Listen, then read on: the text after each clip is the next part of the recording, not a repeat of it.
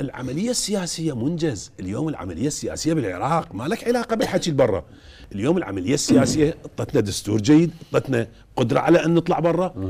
بزمن النظام السابق منو من عندنا يقدر يطلع مظاهرات؟ تمحى عن بكرة أبيها. اليوم أكو متنفس أكو.